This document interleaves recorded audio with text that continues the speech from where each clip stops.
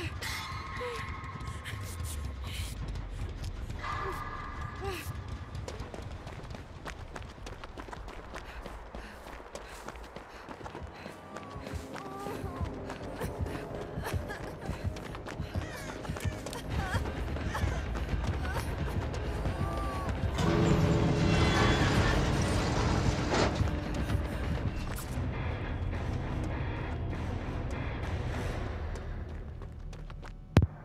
Bene ragazzi, penso che questa sia la prova che il gioco è completamente rotto. Ok, non sono stato in chase, io non, non sono stato inseguito e così via.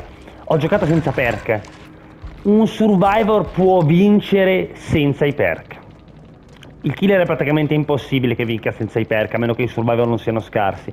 Ma se un premade organizzato, il killer senza perk non vince. Vabbè, eh, non ho messo i perk, ho messo... Mm, ho messo giusto il kit per curarmi, però veramente per farvi capire quanto è sbilanciato sto gioco. Un survivor può permettersi di giocare anche senza i perk, se la squadra fa quello che deve fare. E ho detto tutto, non voglio ridire le solite cose, 4000 pallet, dai dard rotto, torce, le bombe nei gen, i lupi illegali, non è che voglio aver ragione, bisogna essere anche un, un tantino oggettivi però su sto gioco che adesso favorisce troppo i survivor e dal prossimo aggiornamento avranno volontà d'acciaio di base, oltre al piccolo tempo prezioso che già hanno di base.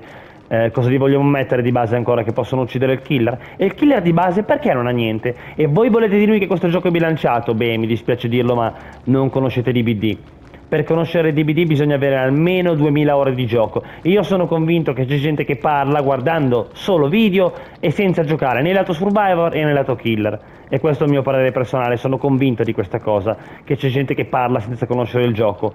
Si parla dopo che siamo fatti tante, tante, tante ore, sia da killer che da sopravvissuto. Bella lì.